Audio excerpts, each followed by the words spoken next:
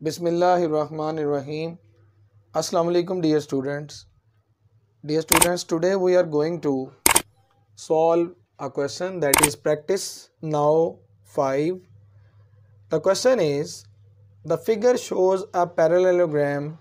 Look at the figure.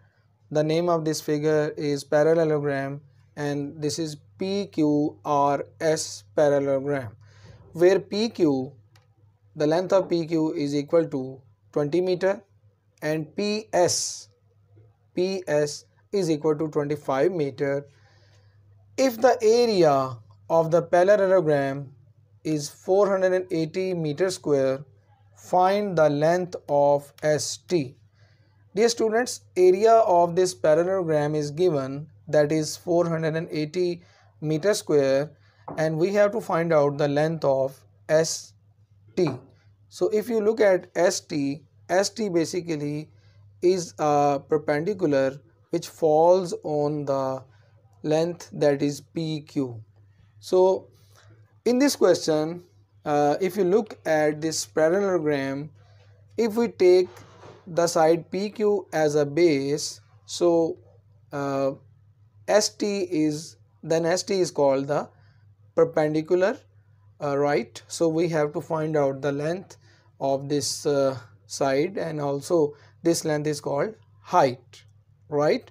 So first of all we are going to write down the data that is the information that is given in this practice now 5 so area of this parallelogram is given. So first of all write here area area of parallelogram is equal to 480 meter square. After that if we consider this a base that is PQ so length of PQ is equal to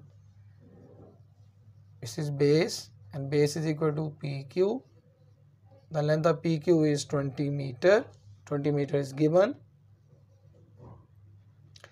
And the next thing is that st is the height. If this is base then you know you can see that st perpendicular is falls on this base pq so what is st st is the height. So we have to find out the length of st and st basically is the height.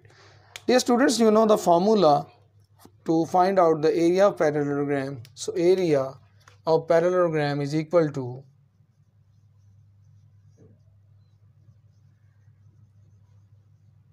parallelogram is equal to base multiplied by height. So area of parallelogram is given that is 400 meter square. So we write area here 480 meter square. And base base is 20 meter. And what is height? Height is we have to find out height is we write here what? St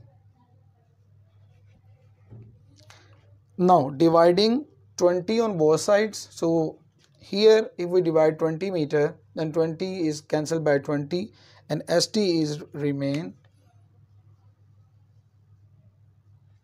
And here write down 400 meter square over 20 meter.